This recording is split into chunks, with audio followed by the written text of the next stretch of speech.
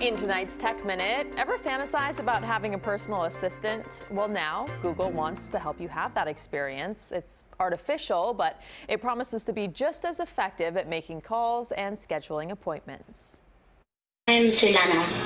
I am just a few years old in human years. Earlier this week, we brought you the story of these high end sex robots. My ex mod will allow me to fulfill your wildest sexual fantasies. Artificial intelligence satisfying a human need we may never have thought possible. A robot that looks like a person and that you can talk to that can be a companion. And now, Google is using AI to tackle some perhaps less exciting, more mundane, but necessary daily tasks like making a hair appointment, bringing AI closer to becoming a true personal assistant. It brings together all our investments over the years in natural language understanding, deep learning, text to speech.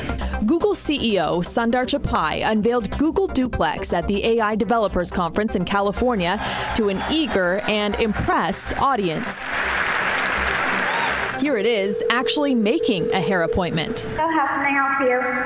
Hi, I'm calling to book a woman's haircut for a client. Um, I'm looking for something on May 3rd. Sure, give me one second. Mm-hmm. Sure, what time are you looking for around? At 12 p.m. We do not have a 12 p.m. available. The closest we have to that is a 1.15. Do you have anything between 10 a.m. and uh, 12 p.m.?